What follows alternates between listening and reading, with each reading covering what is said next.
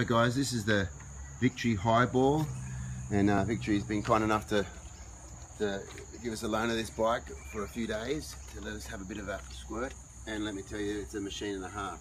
But Victory have a very special day coming up on the Sunday.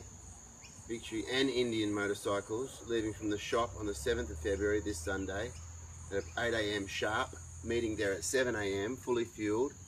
They'll be going on a 180 kilometre ride and I'll be stopping off for coffee, also stopping for lunch. So you can check out that uh, shop ride, the 7th of February this Sunday, leading from Wickham, Wickham Street, Fortitude Valley, their shop there, the Indian and Victory motorcycles.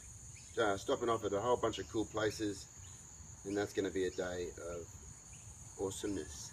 But uh, this is a machine and a half, and if you want to test ride one of these, you get yourselves into Victory and their motto, which I fully believe, and I'm I will own one of these. That if you ride one, you will own one, and I'm a testimony to that because I'm I'm getting one.